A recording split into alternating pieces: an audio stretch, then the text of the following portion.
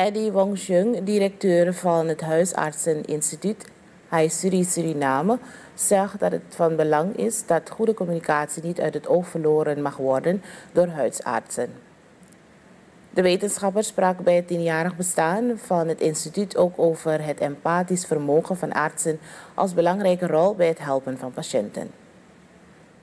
Om te leren naar de patiënt goed te luisteren. Actief luisteren is dat. En uh, dan haal je goed de vraag eruit. En in die vraag zit vaak de klacht, maar achter die klacht zit vaak angst.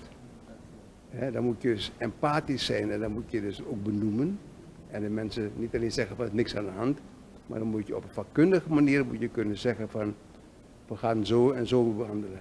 En niet zonder meer tabletten uitschrijven, omdat de patiënt het toch al wil, of liever nog een onderzoek en zo, omdat het allemaal eh, toch in hun gedachten past. Dus wat ik wil zeggen, wat hier benadrukt, is namelijk dat vooral de communicatie met de patiënt op de voorgrond staat. En natuurlijk heel veel andere dingen, zoals nascholen en bijscholen. John Goedschalk, voorzitter Haisuri, zegt dat de afgelopen jaren een flink aantal huisartsen opgeleid is. Betere wetgeving en andere regelingen moeten ook in orde gemaakt worden voor een betere vestiging van artsen in Suriname.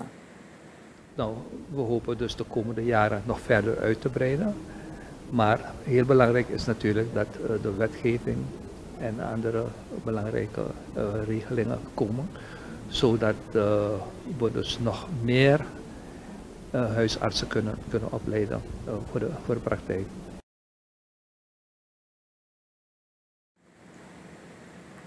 Goedschalk geeft aan dat er na tien jaar nog steeds een dringende behoefte is verbetering van de eerste lijnzorg in Suriname.